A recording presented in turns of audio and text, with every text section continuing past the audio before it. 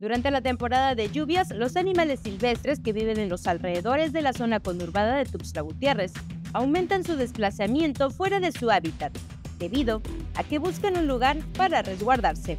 También precisamente en esta época, eh, eh, también los reptiles que traen las aguas corrientes como el río Sabinal, es donde hay que tener cuidado con los hogares que están a la orilla del río Sabinal, porque hemos encontrado en este tiempo, en esta época de, fuertes avenidas de agua, muchos reptiles aquí en la, en la ciudad. La captura de animales eh, pues son las serpientes, que es, decía que se resguardan en tiempo de calor, también se, que se resguardan en las viviendas, en las casas y también en la, en la época de lluvia, pues son las avenidas de agua que traen esas, esos reptiles, ¿no?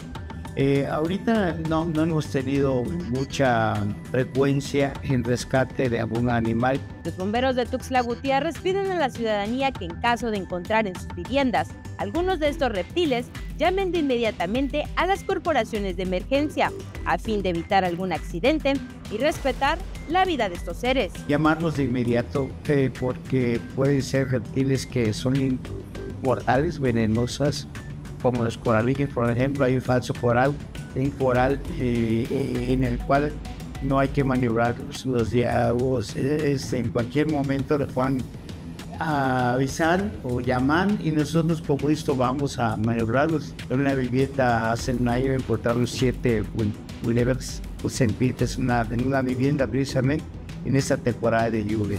De igual forma, durante esta temporada se incrementan las emergencias por ataques y situaciones de riesgo que generan enjambres de abejas y avispas en la ciudad. En las temporadas de, de enjambre, pues son prácticamente toda la año, ¿no? Pero, pero se nos presenta mucho en esta, en esta, en esta época, entonces no la maniobran. Así como los enjambres también no los maniobran.